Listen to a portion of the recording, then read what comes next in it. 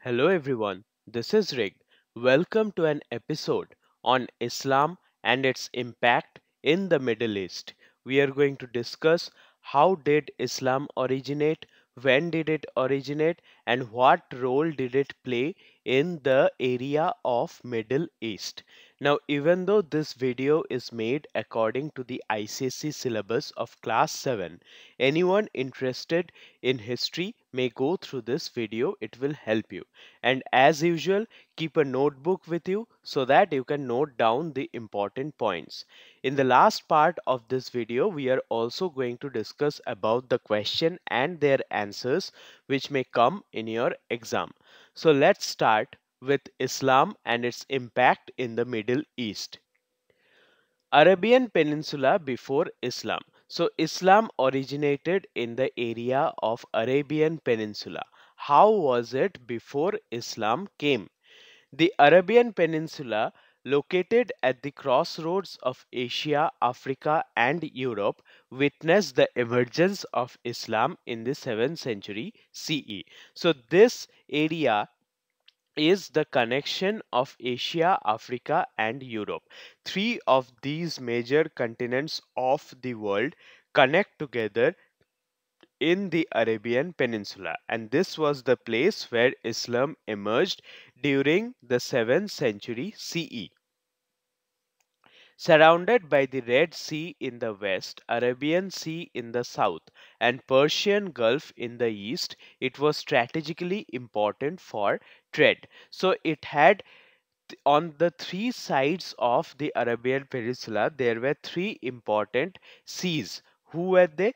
Red Sea in the west, Arabian Sea in the south, and Persian Gulf in the east. So these three areas were very much important trading routes. Hence, it became very much strategically important for the purpose of trade and commerce.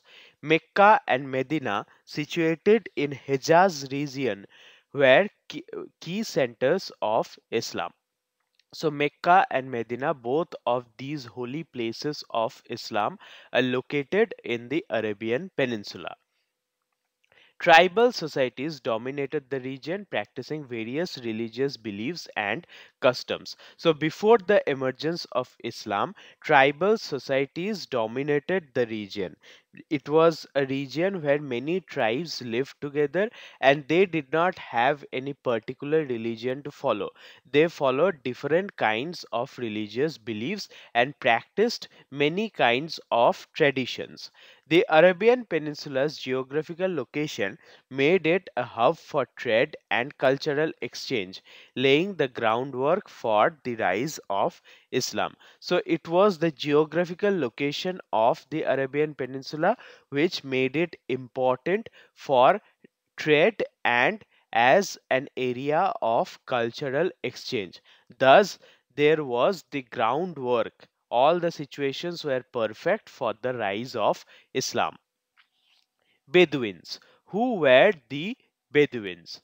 Bedouins were nomadic tribes of the Arabian Peninsula, primarily engaged in camel herding and trade. They were nomadic tribe. Nomadic tribes means tribes who do not settle in a particular area permanently. They move from one place to another. So these were the people who never settled in a particular place. And they moved around the Arabian Peninsula doing camel herding and different kinds of small and large scale trades.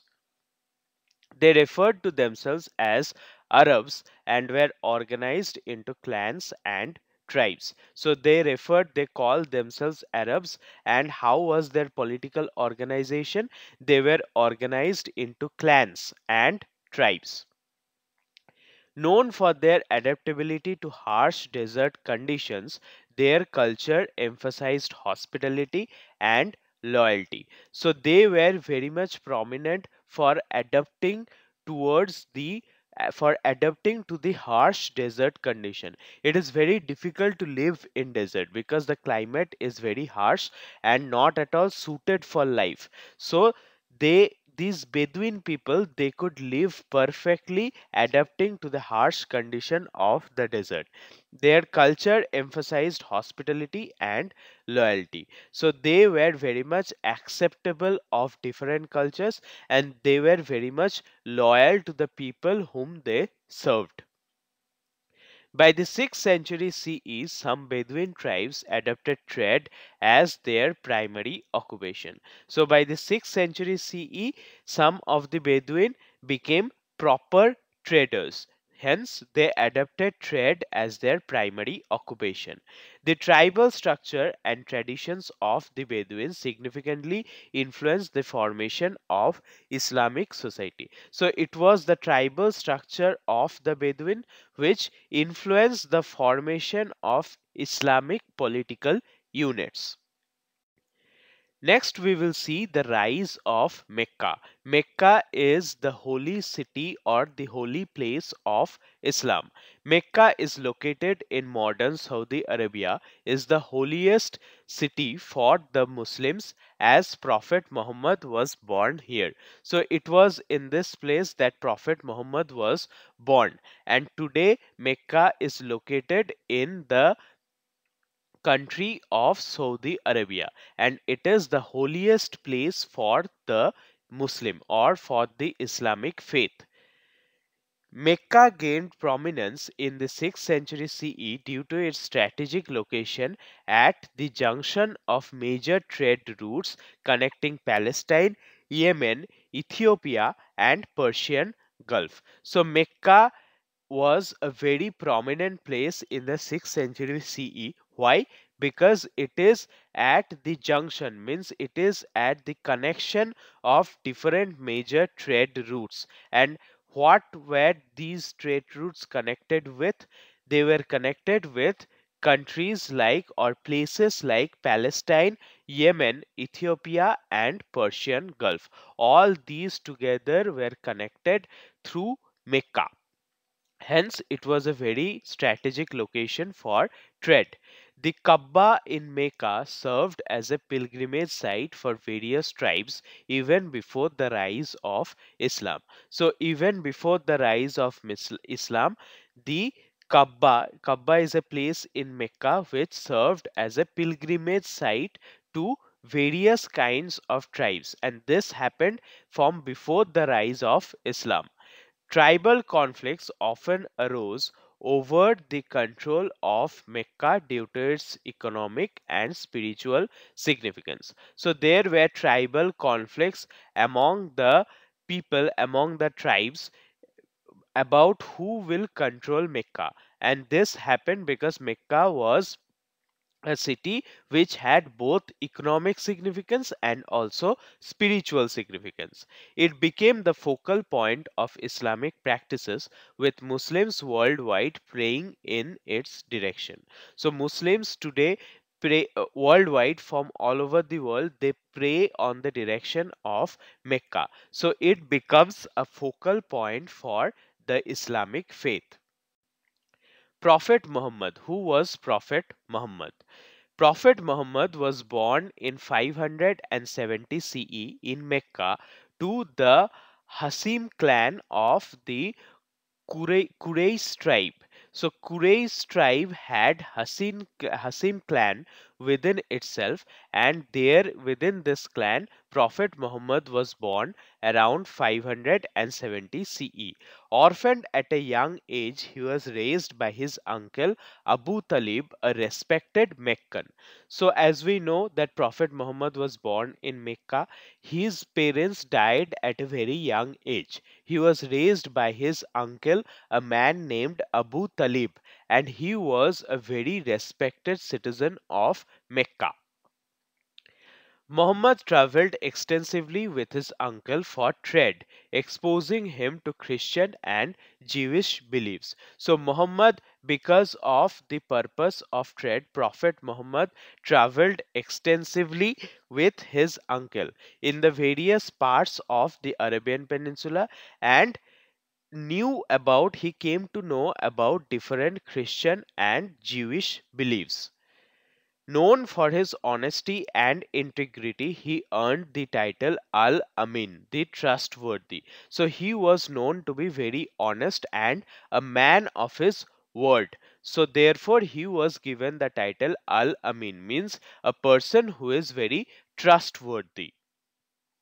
These early experiences and interactions shaped his spiritual understanding and future role as a prophet. So it was through his early experiences in life that he shaped his life as a prophet that provided him base for his spiritual role and spiritual understanding which later on becomes very important in his life so, divine revelations. Prophet Muhammad had some divine revelations. We will see about them.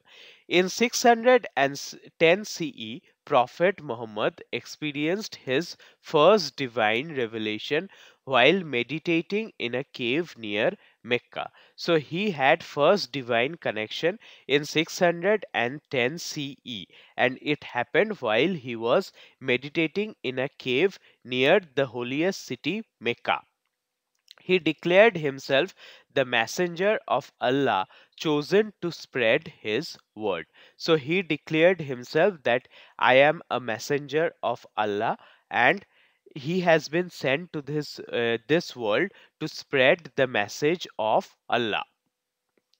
Muhammad's teachings emphasized monotheism, rejecting idol worship and polytheism. So Muhammad taught people about monotheism and he rejected every form of idol worship and worshipping of many gods that is polytheism his wife Khadija became his first follower along with a small group of Meccans. So his first follower was his wife and a small group of Meccan people, people from Mecca, became his followers.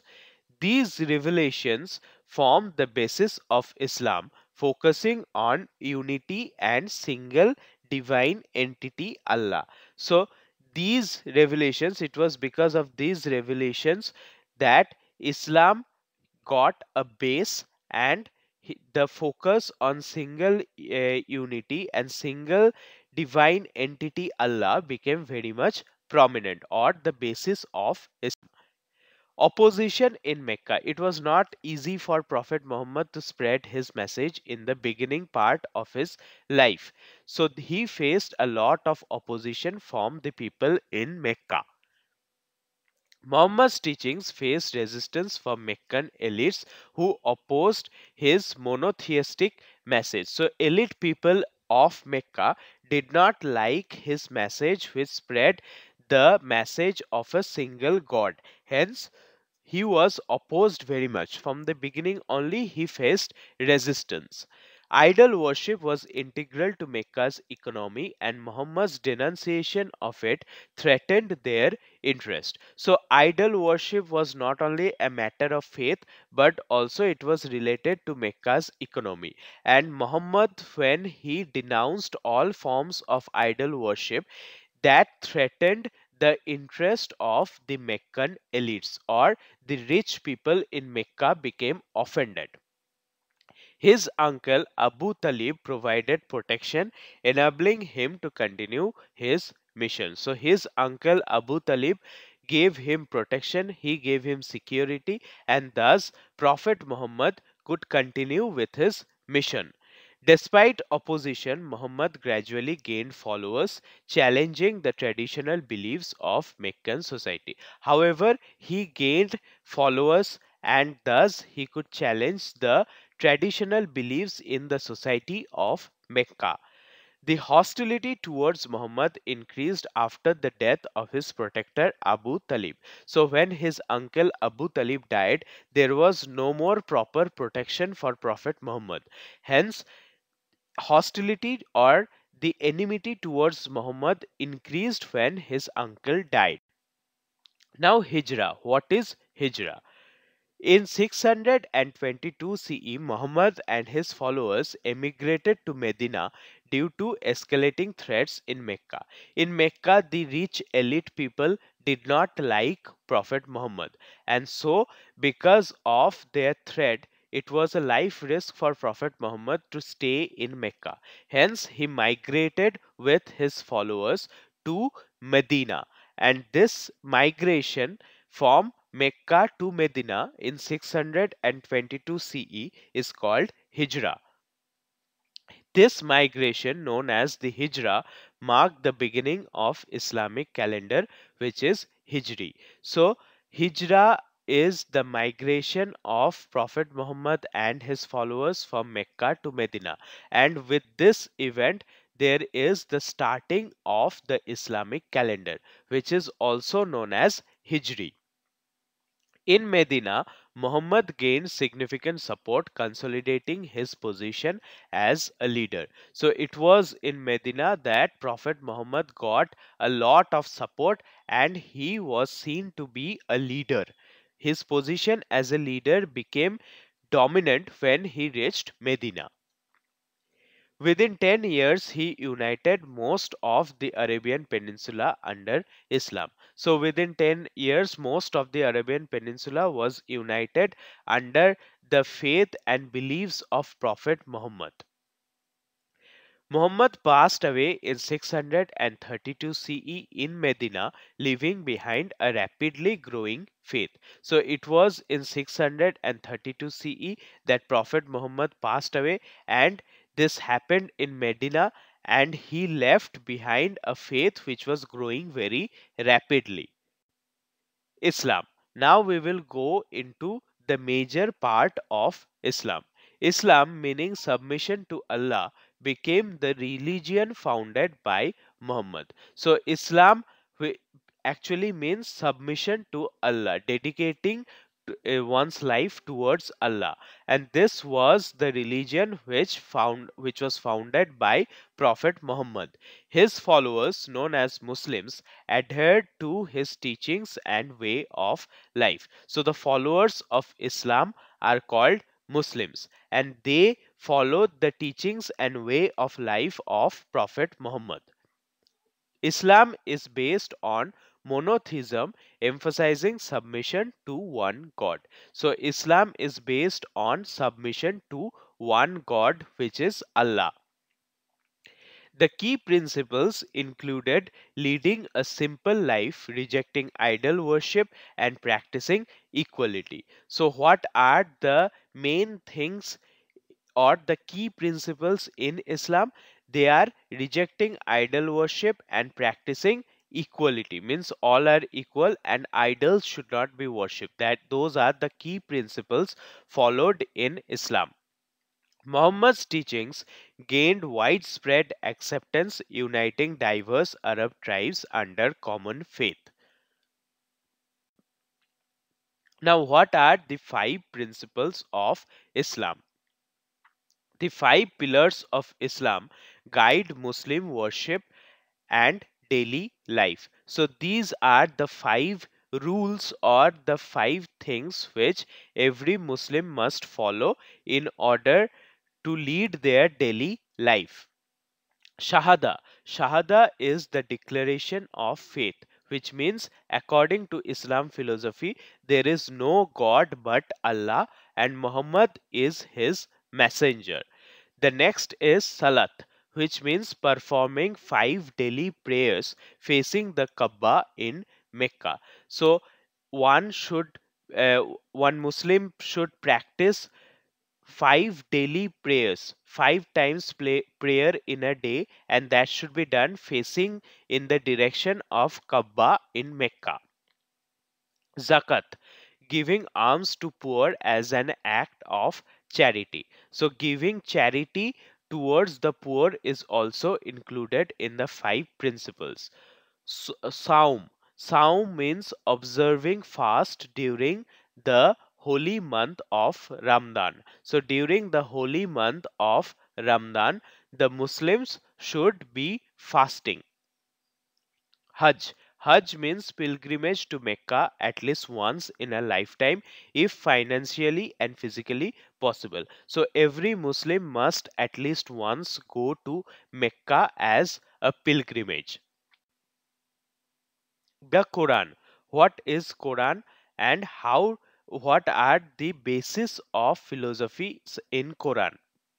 Quran is the holy book of Islam containing the revelations received by Muhammad over 23 years. So this book is considered to be the holy book of Islam and what does it contain? It contains the divine revelations which Prophet Muhammad received for over 23 years.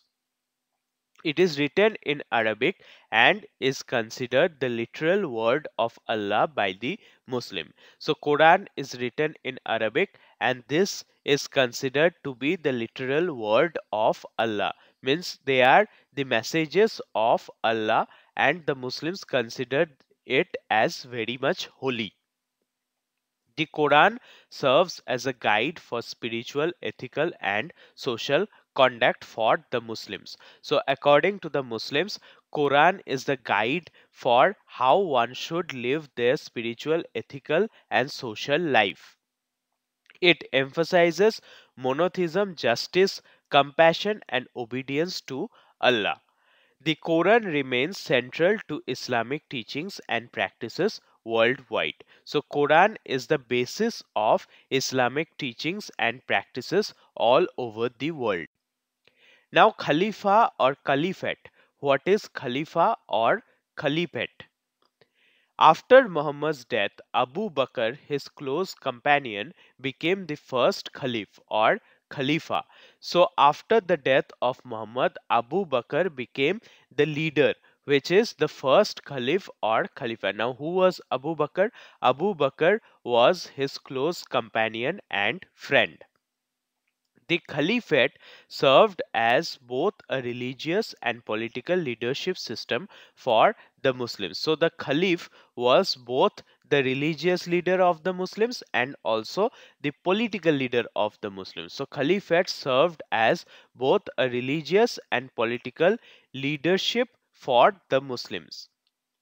Caliphs were seen as successors of Muhammad, tasked with guiding the Muslim community. So these are the leaders who is thought to be or who is seen as the successor of Prophet Muhammad and what is their duty? Their duty is to guide the Muslim community all over the world.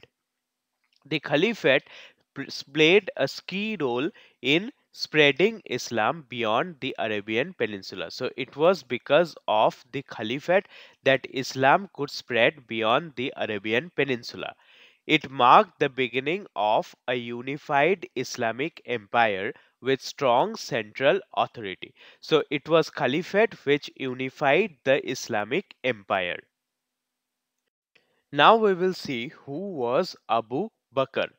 Abu Bakr strengthened the Arab armies, transforming them into a formidable force. So he was the leader or the first caliph who united the Arab armies and strengthening them with the help of latest technologies at that period of time. And thus Arab armies under Abu Bakr transformed into a formidable strong military force. Under his leadership, Islamic territories expanded into Iran, Syria, and Central Asia. So it spread beyond the Arabian Peninsula at the leadership of Abu Bakr, and it was uh, during his leadership that Islamic territories expanded into Iran, Syria, and Central Asia. Cities like Baghdad, Cairo, and Damascus flourished as centers of culture and learning. So, all these cities were very much important at that point of time because they were centers of culture and learning. Abu Bakr's leadership solidified the foundation of the Islamic Caliphate. So, it was through Abu Bakr's leadership that Islamic Caliphate became a leadership organization for the Muslims all over the world. His reign marked the beginning of Islamic conquest and cultural integration. So it was through his leadership and his reign that Islam became a conquering religion and they, uh, from his time Islamic conquest and cultural integration had started. Umayyad Caliphs. Who were the Umayyad Caliphs? The Umayyad Caliphs shifted the capital to Damascus, establishing a vast empire. So, from the time of the Umayyad Caliphs, the capital of the Islamic Empire was shifted to a place called Damascus, and a vast Islamic empire was established.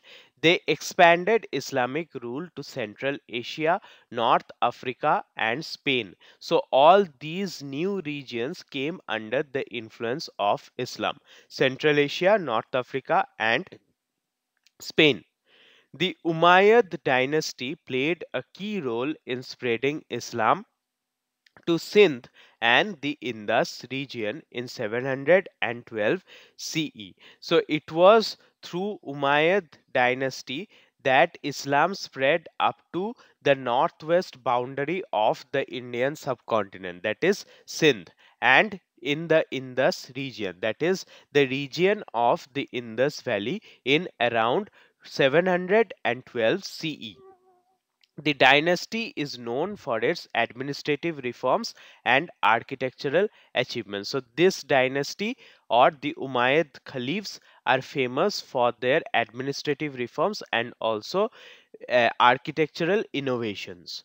Despite challenges, the Umayyads consolidated Islamic rule over diverse regions. So there were many challenges, but still Umayyads were successful in consolidating Islamic rule over diverse regions. Abbasid Caliphs. Who were the Abbasid Caliphs? The Abbasid Caliphs shifted the capital from Damascus to Baghdad. So it was at the time of the Abbasid Caliphs that capital was once again shifted from Damascus to Baghdad, making it a cultural hub. Their rule marked the golden age of Islamic civilization, fostering advancements in science and arts. So it was during the time of the Abbasid Caliphs that Islam gained prominence in the field of science and arts, and their rule marked the golden age of the Islamic civilization. Islam expanded into Persia and beyond, embracing diverse cultures. So, new areas like Persia and crossing Persia, the areas also were under the Islamic influence. The Abbasids emphasized unity within the Islamic community beyond Arab ethnicity. So the Abbasids focused not only on the Arab ethnic people but also united Islam beyond Arab ethnicity. Or the people outside Arab also started following Islam. Their reign saw significant contributions in mathematics, literature, and philosophy. So it was during the time of the Abbasid caliphs that significant advancements took place in the field of mathematics, literature, and philosophy. Contributions of Islam. Now, what are the key contributions of Islamic faith? Islam contributed extensively to global knowledge and culture. How they introduced the decimal system and algebra from Indian traditions. So from the Indian traditions, they took the decimal and the algebra and incorporated them in Central Asia. Advanced geography and astronomy, inventing tools like the astrolabe. So astrolabe was a tool which was invented by the Islamic Empire. Enriched literature with works like 1001 Nights. So the Arabian Nights were masterpieces of literature which were introduced by the Islamic Empire. They fostered trade and cultural exchange across continents. So it was through the unification of the Islamic Empire that trade and cultural exchange among the continents was enhanced. Promoted architectural innovations and artistic expression. Now, spread of Islam. How much did it spread in the world? How much did the Islamic faith influence the people worldwide? Islam spread through trade, conquest, and cultural exchanges. So, there were three main mediums through which Islam spread all over the world that is, through trade, through conquest, and cultural exchanges. The Abbasid policy of expansion and Arab traders facilitated its reach to the West and Central Asia. So, the policy of uh, expansion by the Abbasid caliphs expanded the trade routes of the Arabian Peninsula and it was through their efforts that Islam could reach to the West and Central Asia. Interactions with diverse cultures enriched Islamic practices and traditions. The faith attracted converts due to its simplicity, inclusiveness, and universal appeal. So, Islam was very much attractive to people all over the world because it was very simple and it accepted people from all other religions. Hence, it attracted converts.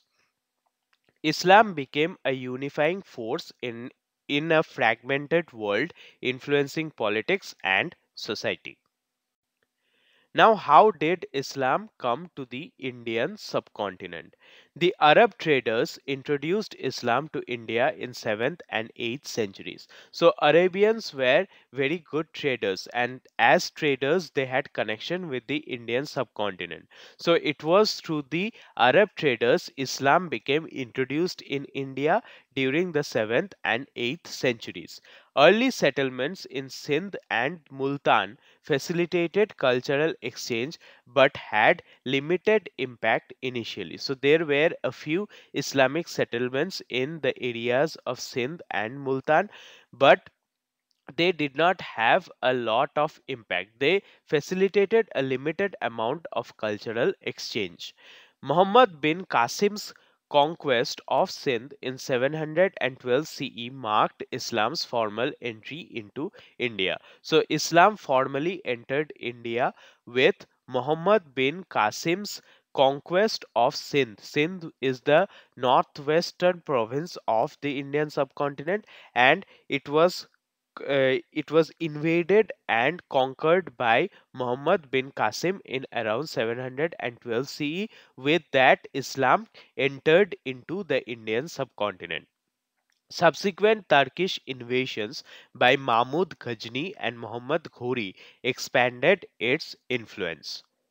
Later on, many other invaders like Mahmud Ghazni and Muhammad Ghori came to India and established their own empires. Muhammad Ghori established the Delhi Sultanate, with which Islam, Islam became prominent in the Indian subcontinent. Over times, Islam blended with local cultures, shaping India's social and political fabric. Now we will go through the questions and their answers which will help you to understand the chapter better. What are the geographical boundaries of the Arabian Peninsula? The Arabian Peninsula is surrounded by the Red Sea to the west, the Arabian Sea to the south and the Persian Gulf to the east. Why was Mecca significant before the advent of Islam? Mecca was significant due to its strategic location at the intersection of major trade routes and the presence of Kaaba, which was a pilgrimage site for various tribes. When and where was Prophet Muhammad born? Prophet Muhammad was born in 570 CE in Mecca in the Hashim clan of the Quraysh tribe. What is the meaning of Hijrah? Hijrah refers to Prophet Muhammad's migration from Mecca to Medina in 622 CE, marking the beginning of the Islamic calendar. What are the five pillars of Islam? The five pillars of Islam are Shahada, faith, Salat, prayer, Zakat, charity, Som, fasting, and Hajj, pilgrimage. What is Quran? Quran is the holy book of Islam containing the revelations received by Prophet Muhammad over 23 years. Who was the first caliph after Prophet Muhammad? Abu Bakr, a close companion of Prophet Muhammad, became the first caliph after Muhammad's death. Name any two contributions of the Abbasid Caliphs. The Abbasid Caliphs contributed to the development of Baghdad as a cultural hub and advanced fields like mathematics, astronomy, and literature. Who introduced Islam to India and when? Islam was introduced to India by Arab traders during the 7th and 8th centuries through invasions by Muhammad bin Qasim in 712 CE. Describe the significance of the Arabian Peninsula before the advent of Islam. The Arabian Peninsula was a crucial region due to its strategic location connecting Asia, Africa, and Europe. It was a hub for trade with Mecca and Medina serving as important centers. The region was home to tribal societies practicing polytheism and various indigenous beliefs. The harsh desert conditions fostered resilience and unity among its inhabitants, particularly the Bedouins. Explain the life and teachings of Prophet Muhammad. Prophet Muhammad was born in 570 CE in Mecca. Orphaned at an early age, he was raised by his uncle Abu Talib. During his travels as a trader, he encountered Jews and Christians, which influenced his spiritual journey. In 610 CE, he received divine revelations proclaiming monotheism and denouncing idol worship. His teachings emphasized equality, charity, and submission to Allah, forming the basis of Islam. Discuss the reasons for the opposition faced by Prophet Muhammad in Mecca. Prophet Muhammad faced opposition in Mecca because of his monotheistic teachings, threatened the polytheistic traditions that were integral to Mecca's economy and social structure. The city elites opposed his message as it challenged their authority and established idol worship centered around the Kaaba. What is the importance of Hijrah in Islamic history? Hijrah marks the migration of Prophet Muhammad and his followers from Mecca to Medina in 622 CE. It signifies the establishment of first Muslim community and the beginning of the Islamic calendar. This migration laid the foundation for the spread of Islam and the political consolidation of the Muslim leadership. How did the Caliphate contribute to the expansion of Islam? The caliphs expanded Islamic territories beyond the Arabian Peninsula, reaching Central Asia, North Africa, and Spain. They established trade networks, promoted cultural integration, and developed administrative systems. Cities like Baghdad and Damascus flourished under their rule, spreading Islamic teachings and culture. Highlight the contributions of the Abbasid Caliphs to science and culture. The Abbasid Caliphs made significant contributions to science and culture. They established the House of Wisdom in Baghdad, fostering research in astronomy, mathematics, medicine, and philosophy. They also promoted literature, producing works like 1001 Nights and advanced architectural styles. What role did trade play in the spread of Islam? Trade played a crucial role in spreading Islam as Arab traders carried Islamic beliefs to distant lands, including Southeast Asia, Africa, and India. They established settlements, integrated with local communities, and shared their religious practices, leading to gradual acceptance of Islam in these regions. Compare the rule of the Umayyad and Abbasid caliphs. The Umayyads focused on military expansion, moving the capital to Damascus and extending their empire to Spain and Sindh. In contrast, the Abbasids emphasized cultural and intellectual development, shifting the capital to Baghdad. The Abbasids expanded Islam's influence through knowledge and integration rather than conquest. Explain the introduction and the spread of Islam in the Indian subcontinent.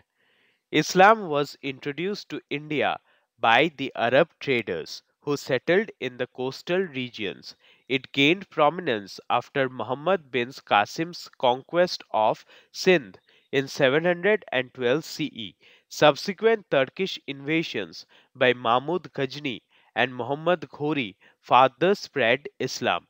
Over time, cultural exchanges between Muslims and locals shaped Indian society discuss the significant significance of the five pillars of Islam in a Muslim's life. The five pillars of Islam are foundations of the Muslim faith and practices. Shahada affirms belief in Allah and Muhammad. Salat provides spiritual discipline through prayer. Zakat promotes social welfare by helping the needy. Som fosters self control during Ramadan, and Hajj strengthens unity by bringing Muslims together in Mecca. So, that was all about the impact of Islam in Central Asia or the Middle East. Hope you have liked the video. Please support me so that I can bring brighter contents in future. Thank you so much for your love and support.